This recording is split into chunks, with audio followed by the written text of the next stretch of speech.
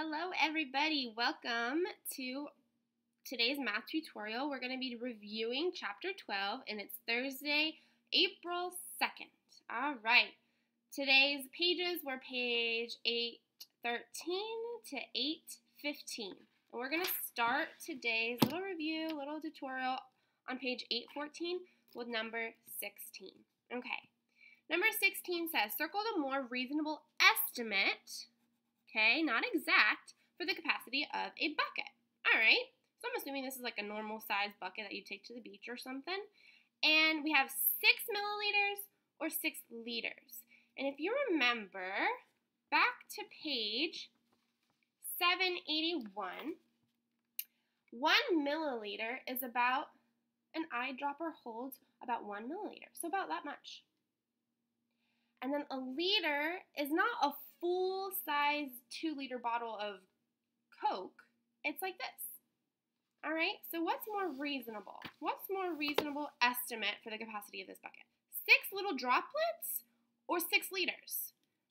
I would say six liters. Number 17, circle the more reasonable estimate for the mass of the chair. We measure mass in grams. So, one gram, if we recall, is equal to one paper clip. That's one gram. And one kilogram is about the same weight, about the same weight as one, two, three, four, five, an avocado. Wait, well, it's about six apples, or maybe five apples and an avocado.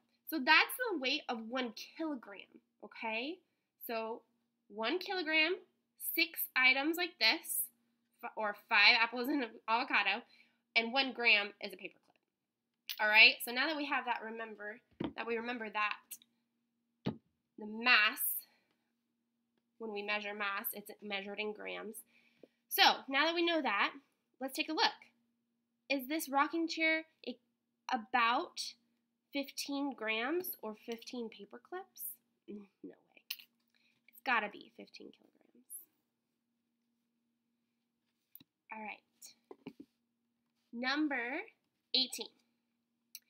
Number 18 says complete the conversion table. We do this a lot, so I have my conversion sheet with me and it says kilograms to grams. I'm just going to go over here and find kilograms and grams. We're talking about mass, not weight, okay? We're talking about mass. And I'm going to say one kilogram equals a thousand grams. So I'm going to take it and put it right on top, or you know what, I'm going to put it on the bottom. It says one kilogram equals a thousand grams. So we, to get from here to here, you're going to multiply by a thousand. So you're going to do the same thing to all of these. Multiply by 1,000 to get how many grams? Or how many little paper clips? All right? Cool. Let's go to the next page. And let's look at number 21. I'm going to put my apples down. Number 21 says Carson has 21 hundredths of a dollar. How many different combinations of coins could we have? Whoa, that's a lengthy question because there's lots of different ways we can do this. Well, we could use dimes, pennies, and nickels. We can't use quarters because quarters equal 25 cents. So dimes, we're working with dimes, pennies, and nickels, okay? All right, so let's just start. We've got here, I kind of wrote some things out. The first option we can do is just 21 pennies. 21 pennies, one penny is equal one cent, so that would equal 21 hundredths. Another way we can do it is doing one nickel and 16 pennies because 5 plus 16 is 21, 21 hundredths. Another way we can do it is two nickels and 11 pennies. 10 plus 11 is 21, 21 hundredths of a dollar. Another way we can do it is 3 nickels and 6 pennies. 5, 10, 15 plus 6 is 21, 21 hundredths of a dollar. We could do 4 nickels and 1 penny. 5, 10, 15, 20 plus 1 is 21, 21 hundredths of a dollar. We can do a dime and 11 pennies. 10 plus 11 is 21 hundredths. We could do a dime, a nickel, and 6 pennies. That equals 21 hundredths of a dollar. We could do a dime, two nickels, and a penny, and that would be 21 hundredths of a dollar. And our last way we can do it is two dimes and one penny.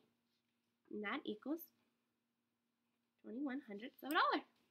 So there's nine different combinations. Nine combinations.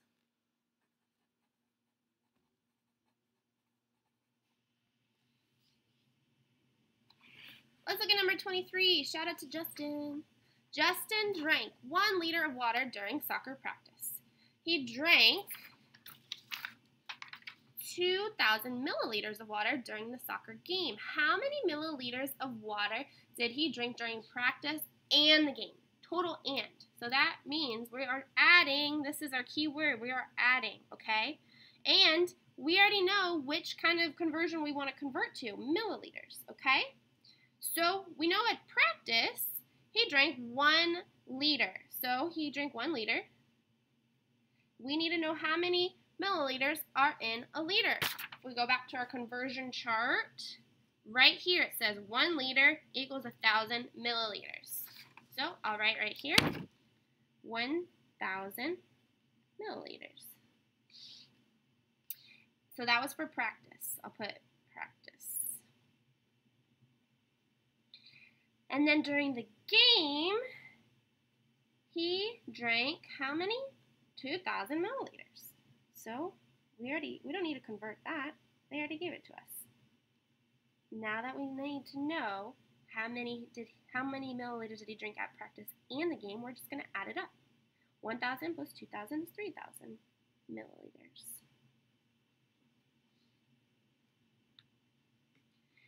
Number 24, Julian. Shout out to Julian. What's up, buddy? Julian walked a distance of 2 meters. Kiara walked a distance of 300 centimeters. Which distance is longer? Okay, so we have meters here and centimeters here. We have two different types of measurements. Well, we can convert one to the other. We can convert centimeters to meters or meters to centimeters.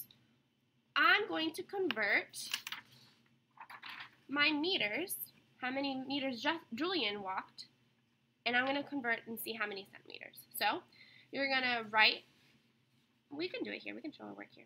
So we're going to go Julian, I'm going to do J for Julian.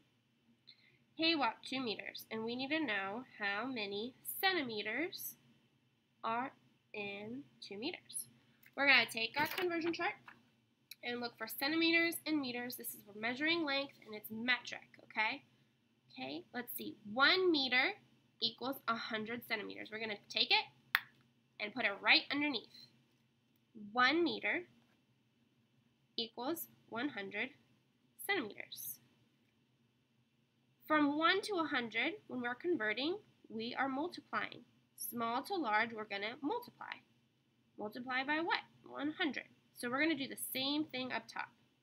2 times 100 equals 200 centimeters. So Julian walked 200 centimeters.